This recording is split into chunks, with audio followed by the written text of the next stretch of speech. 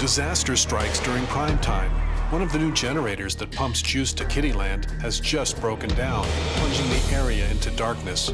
So all the rides are down. We've been selling wristbands all day from 11 o'clock on. Each wristband's $20. They want their money back. I want my twenty dollars. I can't give you your twenty dollars back. I apologize, but I cannot do it. Twenty dollars. No. Money. No, there is no money. We're not going to argue about it. I mean, this is prime time right now.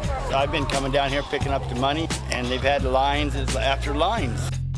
The Kiddieland rides are a big moneymaker and will put a dent in the show's earnings.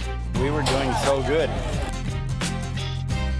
And while a bad inspection, broken ride, or electrical outage won't break the bank for the Carnival Company, it definitely hurts, especially for the ride jock's off-season survival, which depends on every ticket sold. And for the show itself, one rainy season can spell financial ruin.